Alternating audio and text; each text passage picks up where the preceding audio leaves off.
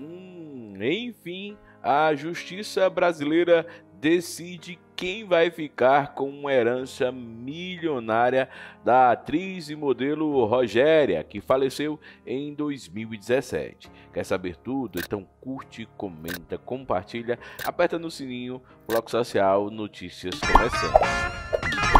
Oi, gente. A justiça decidiu com quem vai ficar a herança deixada por Rogéria, atriz brasileira que morreu em 2017. Segundo informações do colunista Anselmo Góes do jornal O Globo, a 11ª Vara de Órgãos e Sucessões do Rio autorizou a venda de um imóvel avaliado em mais de 300 mil reais que a atriz deixou. Nascida como Astolfo Barroso Pinto em 1940 43 em Cantagalo, interior do Rio. A atriz, cantora, maquiadora, transformista já era famosa no cinema desde 1968, mas em 82, quando participou do Cassino do Chacrinha na TV Globo, se tornou unanimidade nacional. Fez participações em vários programas de TV, mas como Ninete, Valdemar Alencar, na novela Tieta de 89, bom, se tornou um grande debate nacional e aí